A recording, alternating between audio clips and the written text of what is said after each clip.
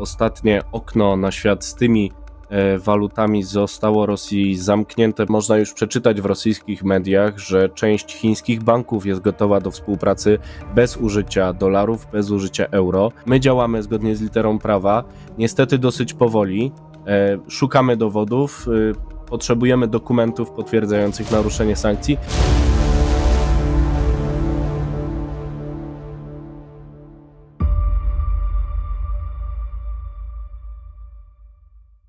Naszym gościem jest pan Wojciech Jakubik, redaktor naczelny Biznes Alert. Dzień dobry, panie redaktorze. Dzień dobry. Panie redaktorze, dzisiaj media nie tylko w Polsce informują, że od rana na moskiewskiej giełdzie trwa panika, masowa wyprzedaż, e, e, akcje lecą w dół, e, ten spadek to nawet może być jedna trzecia ich wartości. Brokerzy blokują klientom wypłaty dolarowe i euro z ich rachunków. To jest wynik decyzji Stanów Zjednoczonych o objęciem sankcjami właśnie moskiewskiej giełdy. Co ta decyzja oznacza i czy rzeczywiście jest to tak celny cios finansowy w stosunku do Rosji?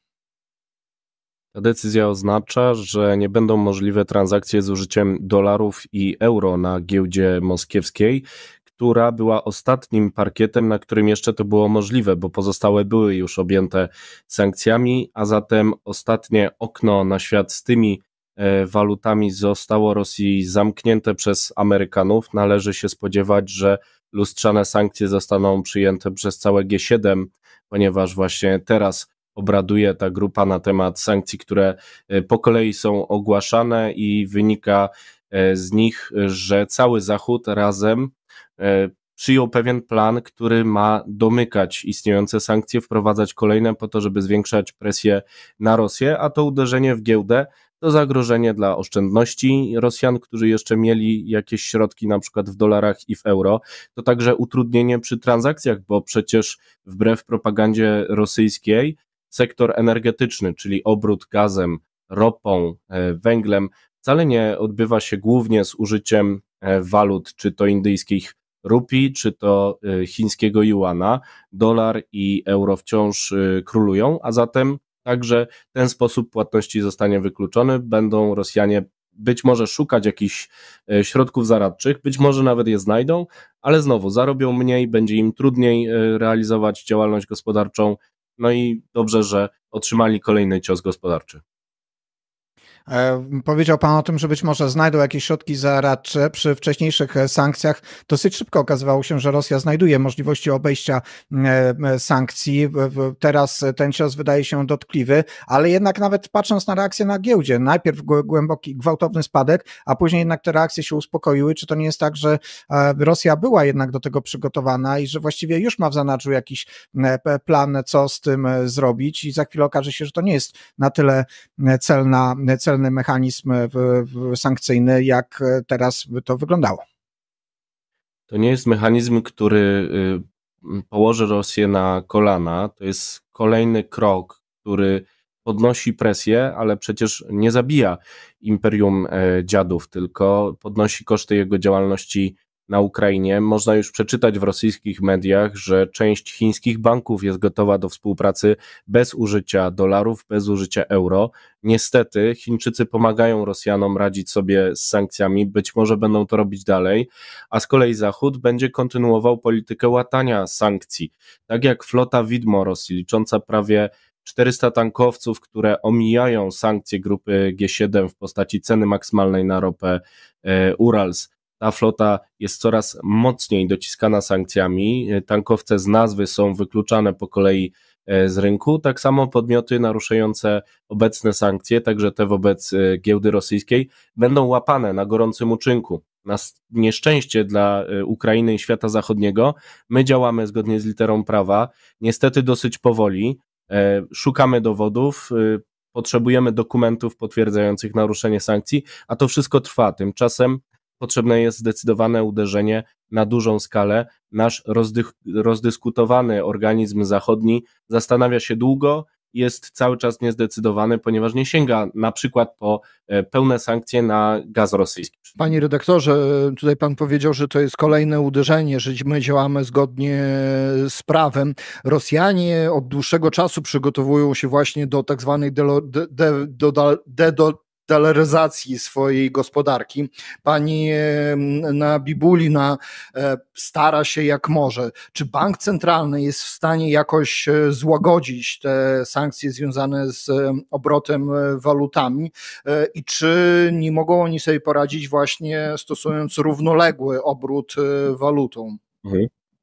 Tak, znaczy Związek Sowiecki także funkcjonował przez y, długi czas poza zachodnim systemem e, finansowym, tylko że był coraz bardziej wsobny, coraz bardziej zależny od sektora militarnego i tak jak kiedyś Rosja była nazywana przez świętej pamięci Johna McCaina wielką stacją benzynową z bronią jądrową, to teraz jest już tylko stojakiem na broń e, jądrową, bo ta stacja benzynowa będzie mogła sprzedawać y, coraz mniejszej ilości klientów. Y, nie jest tak, że dedolaryzacja na skalę globalną e, postępuje. W rzeczywistości rola dolara w obrocie e, w czasie kryzysu energetycznego, w czasie przerw łańcuchów dostaw rośnie. Dane pokazują, że dolar jest coraz ważniejszy na rynku i jakby nie zaklinali rzeczywistości Rosjanie, oni także potrzebują dolara, euro do handlu, y, mogą do pewnego stopnia radzić sobie z użyciem rubla, z użyciem rupi z użyciem juana, ale to oczywiście kosztuje. Pośrednicy liczą sobie e, za ryzyko i e, nie jest tak, że są w stanie stworzyć alternatywny świat e, finansowy, który jest całkowicie niezależny od tej sytuacji. Rosjanie oczywiście przetrwają to kolejne uderzenie, dadzą sobie radę, ale stają się coraz bardziej wyalienowaną gospodarką, która funkcjonuje tylko dzięki olbrzymim zamówieniom sektora militarnego. E, panie redaktorze, e, też mam do Pana e, pytanie o roli Niemiec. Teraz jest decyzja o nowej, nowych sankcjach przeciwko, przeciwko Rosji od krajów Unii Europejskiej i na przykład niektóre zachodnie media piszą o tym, że to blokuje E, blokują Niemcy. E, czy e, pan to potwierdza? To zależy o których sankcjach mówimy, bo przynajmniej w deklaracjach Niemcy popierają na przykład sankcje na dostawy LNG z Rosji, sami sprowadzają gaz skroplony z USA, idąc w ślad Polaków, którzy robili to już bardzo dawno temu. Teraz Niemiec jest mądry po szkodzie i sprowadza amerykańskie LNG, chce sankcji wobec rosyjskiego LNG, które niestety dociera w całkiem znacznej ilości, około 20 miliardów metrów sześciennych rocznie do Europy Zachodniej. E, mowa jest raczej o zakazie reeksportu tego gazu skroplonego, bo kraje takie jak Holandia, jak Francja, to one blokują takie sankcje. E, Niemcy uniezależniają się od surowców rosyjskich, mają większe zastrzeżenia wobec sankcji na współpracę naftową, bo przecież sprowadzają kazachską ropę, ale przez system rosyjski ropociągu E, przyjaźń cały czas korzystając ze współpracy z e, operatorem sieci przesyłowej e, ropy naftowej Transnieftem, więc tutaj można by im coś zarzucić. Warto przypomnieć jeszcze raz, nie ma mowy o embargo na gaz rosyjski. Kraje Europy Środkowej, które są prorosyjskie, jak Austria czy Węgry, cały czas sprowadzają gaz rosyjski. Ropa rosyjska jest wyłączona spod sankcji, jeśli chodzi o dostawy właśnie do Czech, do Słowacji, na Węgry, e, tam nadal jest ropa rosyjska e, w systemie i to jest e, cały czas duże wyzwanie. Z kolei Komisja Europejska daje możliwość zgłoszenia tak zwanej siły wyższej, to znaczy wprowadziła regulacje, które pozwalają chętnym krajom, tym krajom, które się zdecydują na taki krok, zgłosić siłę wyższą, czyli niezależne od nich warunki sprawiające, że muszą zerwać kontrakty gazowe czy naftowe z Rosjanami. Niestety te państwa, które jeszcze zostały przy gazie i ropie z Rosji na czele z Węgrami Wiktora Orbana nie palą się do takiego działania. Na podstawie arbitrażu sztokholmskiego niemiecki, e, niemiecki Uniper może domagać się od Gazpromu 13, ponad 13 miliardów e, euro. To e, pieniądze jako odszkodowanie za niedostarczenie gazu. Tak właśnie wydaje się, że taka suma i próba egzekwowania jej od Gazpromu mogłaby po prostu Gazprom wywrócić do góry nogami, panie redaktorze. O co chodzi w tej sprawie? Jak pan przewiduje, jak ta sprawa dalej się potoczy i czy rzeczywiście Niemcy wykorzystają ten rezultat arbitrażu. No należy zacząć od tego, że Gazprom już jest wywrócony do góry nogami, bo w 2023 roku zaliczył rekordową stratę 6 miliardów dolarów, rekordowy spadek eksportu gazu i rekordowy spadek wydobycia gazu, czyli tego fundamentu, na którym e, on utrzymywał swoją potęgę w przeszłości, kiedy faktycznie dominował na rynku europejskim, więc Gazprom już teraz jest w czarnej dziurze, a te liczne arbitraże, których przykładem jest ten Unipera, pokazują, że nie był godny zaufania nigdy, bo przerwał dostawy gazu pod byle pretekstem, czy to pod pretekstem płatności e, w rublach, czy to pod innym pretekstem. Jeszcze przed wysadzeniem Nord Streamu pierwszego i drugiego Rosjanie sami zakręcili kurek z gazem tym szlakiem i o to upomina się Uniper, zresztą słusznie.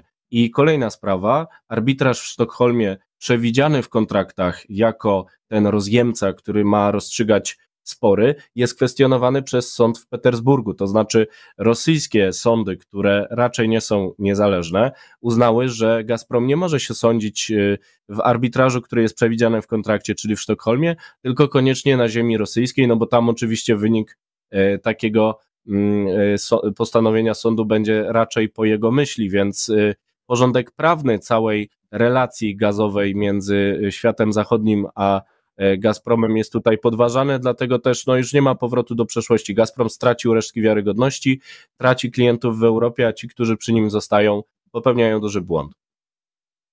Powiedział pan, że Gazprom e, traci. Gazprom to nie tylko handel gazem. Na Gazpromie jest e, zawiązana spora część e, rzeczywistości rosyjskiej. Gazprom współfinansuje wiele kierunków, w tym i kierunek walki, bo są przecież płatne bataliony zorganizowane przez Gazprom, między innymi Błękitna Fala, to jest jeden z takich batalionów. Jeżeli oni mają straty, czy to nie spowoduje to, że te inicjatywy, które wspiera Gazprom e, w Federacji Rosyjskiej po prostu padną, czy na jego miejsce znajdzie się jakiś inny sponsor? Kto może to zrobić?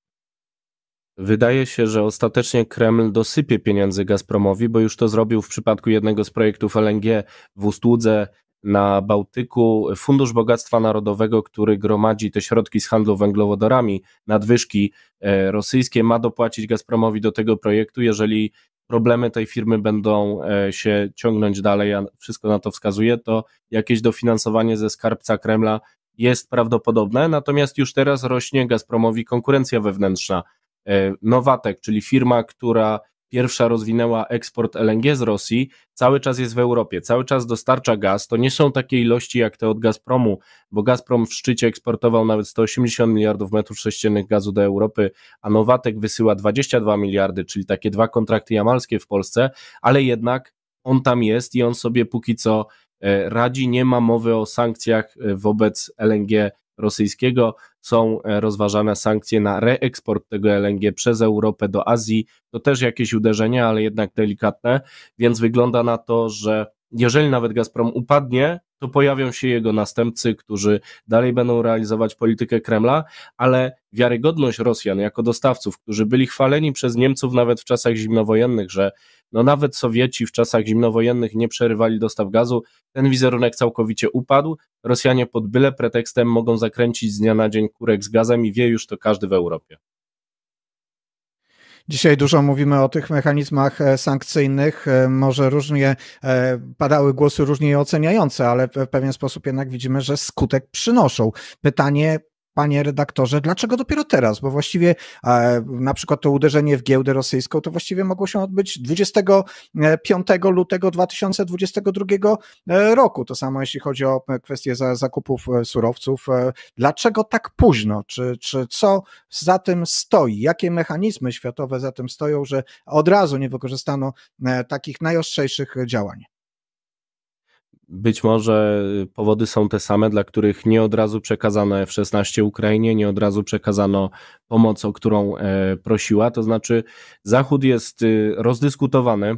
Mamy wiele podmiotów. W Unii Europejskiej jest 27 krajów, z których niektóre są w sposób jawny prorosyjskie, i ta wielka rodzina zachodnia musi dojść do ładu i podejmować decyzje e, w drodze konsensusu. To jest słabość i siła, ponieważ z drugiej strony mamy bardzo przejrzystą sytuację, mamy wolne media, które e, co róż odsłaniają kulisy tych e, różnych działań e, politycznych na Zachodzie. Natomiast jeśli chodzi o decyzyjność, no to mamy tutaj problem. Kreml wysyła kilkudziesięciu ludzi na jedno spotkanie, po kilku godzinach zapada decyzja w jakiejś sprawie. U nas to są wielomiesięczne negocjacje, które mogą zostać wywrócone przez jednego uczestnika, który e, na domiar złego może realizować rosyjski plan. No i z tego względu sankcje są nierychliwe, ale tak jak mówił pan redaktor, one są skuteczne. One nie są rozstrzygające, bo nie doprowadziły do upadku Rosji, ale ograniczają jej możliwości i w długim terminie sprawią, że gospodarka rosyjska imploduje, ponieważ nie będzie miała narzędzi rozwoju, nie będzie miała dostępu do międzynarodowego rynku, do technologii, będzie tylko i wyłącznie napędzana działaniami zbrojnymi, a jak wiadomo, po historii Związku Sowieckiego to jest droga donikąd. A czy rosyjską gospodarkę w takim układzie mogą uratować Chiny? Częściowo tak i to się niestety dzieje, ponieważ y, te sankcje drugiego rzędu wprowadzane też w ostatnich dniach dotyczą podmiotów między innymi z Chin, które pomagają Rosjanom omijać sankcje. To z Chin docierają chipy niezbędne do e, zaopatrywania sprzętu wojskowego w najnowsze technologie. To Chińczycy są nowymi kupcami ropy rosyjskiej, nie na taką skalę jak świat zachodni kupował, ale jednak kupują e, tę ropę, podobnie e, Indie kupują ropę rosyjską, pomimo tego, co dzieje się na Ukrainie. Największy problem jest z gazem, ponieważ nie ma fizycznego połączenia między złożami, które docierały do Europy, a rynkiem chińskim. Dopiero nowy gazociąg Siła Syberii 2 połączyłby te złoża, z których gaz docierał do Europy, właśnie z rynkiem chińskim, natomiast on nie idzie naprzód. Tutaj Chińczycy twardo negocjują z Rosjanami. Financial Times ujawnił, że e, chcieli bardzo tanio ten gaz, nie chcieli tak dużo, jak oczekiwaliby Rosjanie, i może się okazać, że Rosjanie ze względów propagandowych będą sprzedawać ten gaz ze stratą to na pewno nie przyniesie im z kolei e, pożądanego rezultatu ekonomicznego. Wojciech Jakubik, redaktor naczelny Business Alert, e, był e, naszym i Państwa gościem. Bardzo serdecznie, Panie dziękuję redaktorze, bardzo. dziękuję. Zapraszam Państwa do wsparcia nas na patronite.pl ukośnik czarne niebo. Oczywiście zapraszam też do lajkowania, do subskrypcji, do lubienia naszych materiałów na kanale Czarne Niebo.